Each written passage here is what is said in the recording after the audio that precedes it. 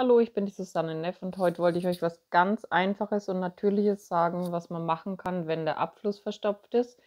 Entweder kann man natürlich irgendeine Chemiekeule kaufen und dann das in Abfluss schütten, das ist ja auch nicht gut fürs Wasser. Oder man nimmt einfach ähm, einen halben Liter heißes Wasser, eine Tasse voll Apfelessig und Kaisernatron, da kann man 100 Gramm nehmen. So, in so einem Packerl sind da 50 Gramm drin. Also bräuchte man zwei davon.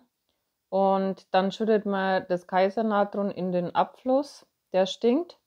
Und das ist meistens entweder in, im Bad, in der Dusche oder in der Küche, in der Spüle.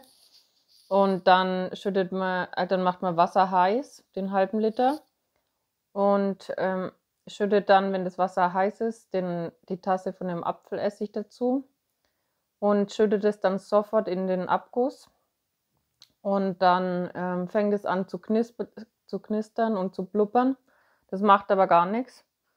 Und dann, wenn das alles drin ist, dann macht man, verschließt man den Abfluss für eine Stunde, damit das alles sich zersetzen kann. Und nach einer Stunde kann man dann einfach äh, heißes Wasser nachschütten und dann löst sich das alles auf und der Geruch ist auch weg.